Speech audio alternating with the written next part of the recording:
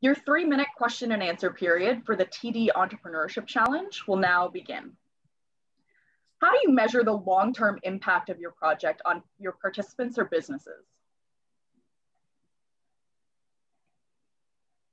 Um, so I guess I can answer this question. And the way we measure the long-term impact of our project on our partners is by um, taking, basically our project focuses on um, creating partnerships between entrepreneurs and charities tackling food insecurity. So our main measure there is by reaching out to these partners and um, taking a tally essentially of how many um, how many new customers we've brought them and how many donations they were able to make to the partner charities.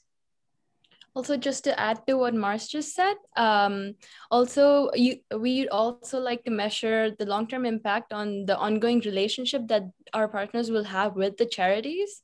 So this is not just something that's for three months or six months. It depends on how they contribute to the community towards food addressing food insecurity and the ongoing relationship. They could stay in um, in partnership with the food banks for even two to three years and that that tells them that tells us as the audience that they are socially responsible and um, are community oriented. So that's also another way that we are we intend to measure the impact of this project on our partners.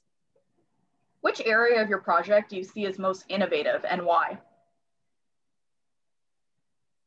Hmm. Um, I guess one of the biggest innovations of Project Smart Meals is that we're using marketing and something that is, you know, corporate oriented to bring about social change. So we're not just, you know, promoting our partner entrepreneurs and businesses and restaurants um, for the sake of it, but or to make profit, but we're doing it so that in exchange they'll donate part of their proceeds to uh, the cause of food insecurity.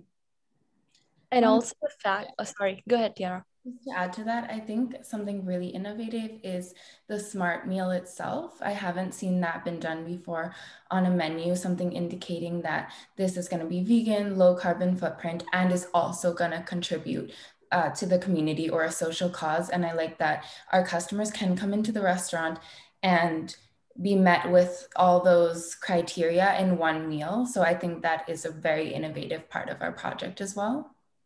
Also, the fact that it is catered to every partner's needs. Like we have Sajiva Kombucha on board and it's catered to the smart drink.